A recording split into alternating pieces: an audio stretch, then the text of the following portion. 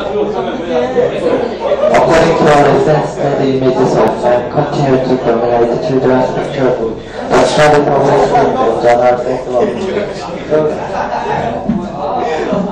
shows, that uh, there are twice as many male as female main characters in the books examined and that male characters appear with cerebrus more illustration.